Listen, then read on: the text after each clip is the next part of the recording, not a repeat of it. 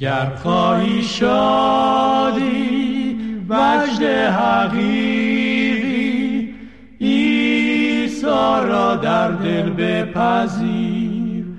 گناهت پاک سازد شبت را روز کند قلبت را نو سازد دائم با تو ماند.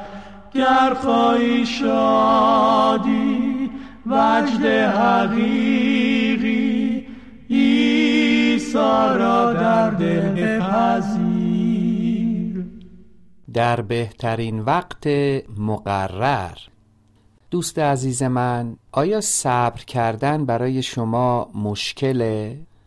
آیا شما انسانی کم صبر هستید و یا عجول؟ آیا شما در همین لحظه در صبر برای رسیدن و یا به دست آوردن چیزی هستید ولی صبرتون داره کم کم به پایان می‌رسه؟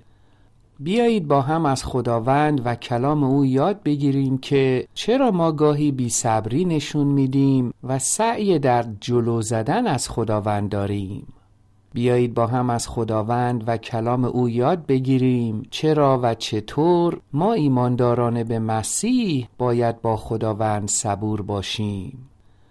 عزیزان برای درک صحیحی از این مهم که ما ایمانداران به عیسی مسیح چرا و چطور باید با خداوند پدر آسمانیمان صبر کنیم و با او هر روزه قدم به قدم جلو بریم به کلام او مراجعه می کنیم با مطالعه کلام خدا در اولین کتاب عهد عتیقی که ما می‌بینیم چگونه خداوند پدر آسمانی ما خدای پسر یعنی همان عیسی مسیح و روح القدس آسمانها فلک و ملکوت را طراحی نمودند و آفریدند. در کتاب پیدایش فصل یک آیه یک می‌خوانیم در ابتدا خدا آسمان ها و زمین را آفرید. آمین. اما قبل از اینکه آدم یعنی همان اولین انسانی که خدا آفرید اولین نفس خودش را بکشه خداوند به خوبی می‌دونست که گناه وارد خلقت پاک و مقدس او میشه.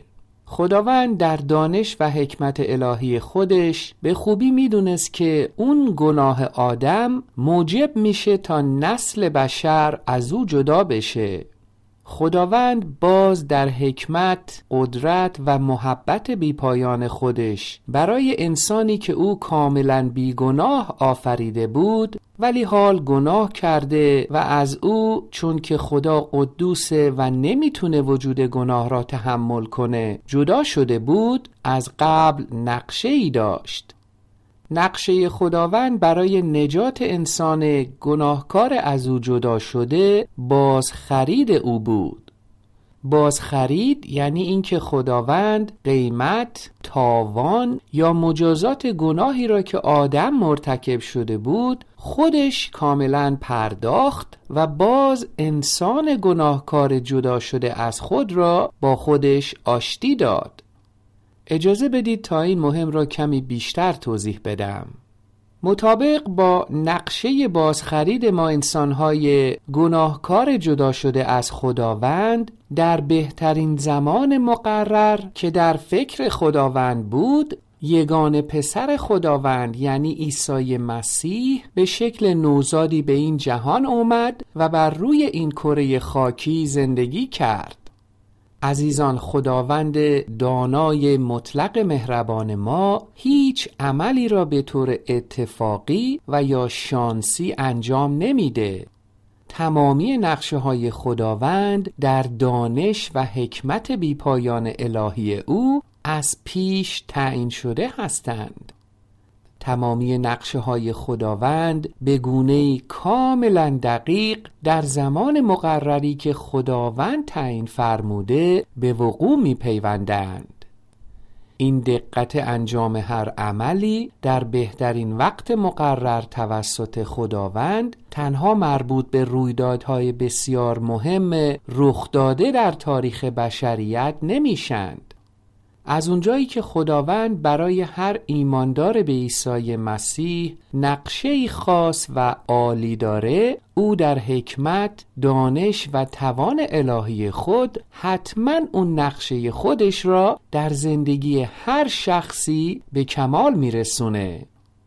در کلام خدا در ارمیا فصل 29 آیه 11 می‌خوانیم تنها من هستم که از سرنوشتی که برای شما تعیین کرده ام آگاهم.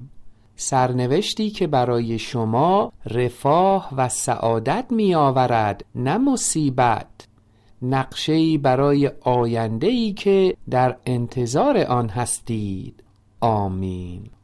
عزیزان خداوند از لحظه تولد ما از پیش به خوبی می‌دونست که ما با چه وقایعی هر روزه مواجه میشیم. خداوند همچنین می‌دونه که ما دقیقا چه مدتی بر روی این کره خاکی خواهیم زیست.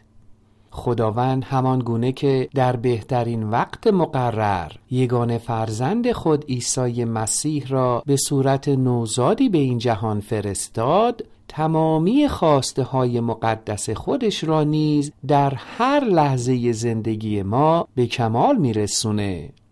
در کلام خدا در قلاتیان فصل چهار آیات چهار و پنج می‌خوانیم اما وقتی زمان معین فرا رسید خدا فرزند خود را که از یک زن و در قید شریعت متولد شده بود فرستاد تا آزادی کسانی را که در قید شریعت بودند فراهم سازد و تا ما مقام فرزندی را به دست آوریم.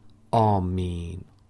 عزیزان دقت داشته باشید که اگرچه تمامی نقشه های خداوند برای زندگی هر کدام از ما بهترین هستند اما ما تنها در صورتی شاهد به کمال رسیدن و ثمرات اون نقشه ها خواهیم بود اگر از خداوند کاملا اطاعت کنیم. خداوند قول داده که در صورت اعتماد کامل ما به او اطاعت از خواسته های وی از ما همه چیز را برای خیریت و برکت ما و نهایتا جلال نام خودش به کار می‌بره. در کلام خدا در رومیان فصل 8 آیه 28 می‌خوانیم ما می‌دانیم همه چیز برای خیریت آنانی که خدا را دوست دارند و به حسب اراده او خوانده شده اند با هم در کارند آمین دوست من حال سوال اینجاست که آیا شما اجازه می‌دید تا خواست عالی و مقدس خداوند که همیشه بهترینه در زندگی شما انجام بپذیره؟ اگه پاسخ شما به این سوال مثبت اگه از صمیم قلب مایلید تا خواست خداوند در زندگیتون انجام بشه پس به زمانهای خداوند برای به وقوع پیوستن هر امری در زندگیتون حق تقدم اول را بدید. خداوند که از تمامی امور گذشته حال و آینده زندگی شما و این هستی کاملا با خبره در دانش و حکمت الهی خودش می‌دونه که در هر لحظه داره چه کار می‌کنه و چه اموری را پیش می‌بره. با سعی در جلو زدن از زمان منتخب خداوند یا تأخیر و سرباز زدن از اطاعت از وی نقشه خاص و مقدس او برای زندگیتون را به تعویق نیندازید و یا از بین نبرید. در فروتنی و اعتماد کامل به خداوند به او اجازه بدید تا هر روزه در بهترین زمانی که خودش می‌دونه هر واقعه ای را برای برکت شما و جلال نام خودش و گسترش ملکوت الهیش به کمال برسونه.